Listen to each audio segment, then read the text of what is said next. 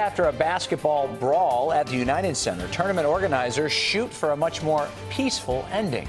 Good evening. I'm Rob Jones. And I'm Erica Sargent. Those images of the melee outside the United Center were seen around the world on social media. Tonight, they're making up the games that were canceled because of the violence. CBS 2 Suzanne Le Mignot live at Crane High School, where the makeup games are just getting underway. Suzanne.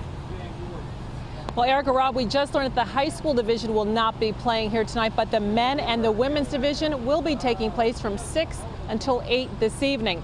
Now, the organizers say the United Center brawl involving children as young as 12 and 13 years old, that the people hurt the most in this were those involved in the program.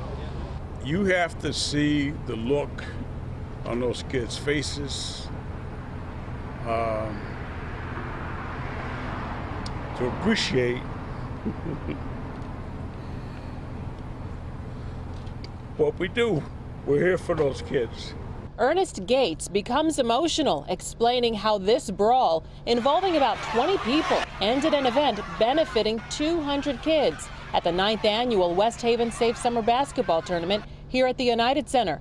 Gates organized the event where about 4,000 spectators attended.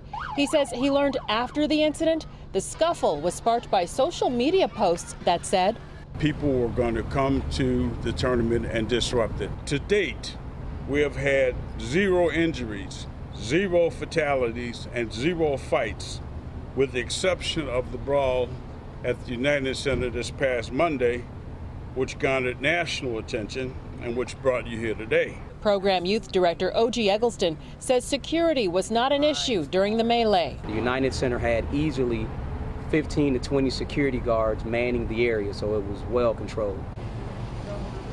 Now back here live at the entrance to the game, you see officers from the 12th Police District there on site. They're also providing extra patrols. Private security is also in place for tonight's event. There are about 1,000 people expected at tonight's games here at Crane High School. Reporting live on the near west side, Suzanne Le Mignot, CBS 2 News. Rob. Okay, Suzanne, thank you.